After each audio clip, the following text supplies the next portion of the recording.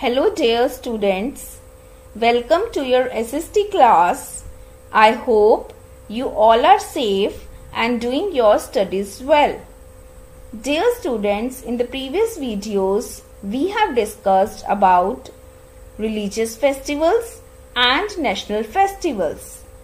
Religious festivals are celebrated by the people of particular religions like Diwali, Eid, Guru Purab, etc.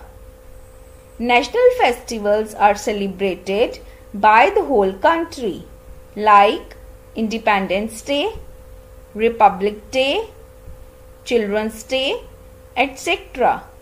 Dear students, there are some festivals which are neither celebrated by the people of particular religions nor by the whole country. These are celebrated by our family members, relatives, friends, etc. Such festivals are called family festivals. For example, you celebrate your birthday with your family members, relatives and friends etc.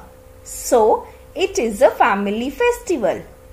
Similarly, Mundan ceremony, wedding ceremony, Dastar Bandi, anniversary functions are also family festivals. So students, today I discussed family festivals. And I hope students it is clear to you. Now students, let's do exercises. When do we celebrate the following festivals? First is Children's Day. Second is Gandhi Jayanti. Third is Independence Day. Fourth is Republic Day. Fifth is Teacher's Day. Students, there are some festivals which are celebrated on particular date as Children's Day is celebrated on 14th November. Now students think and write on which date these festivals are celebrated. Now students identify the given festivals from the given clues. First is Gujia or colors. Second is Diyas. Third is Santa Claus. Fourth is Mosque or Sevaya. Fifth is Langar. Sixth is National Flag. Seventh is Sugar cane.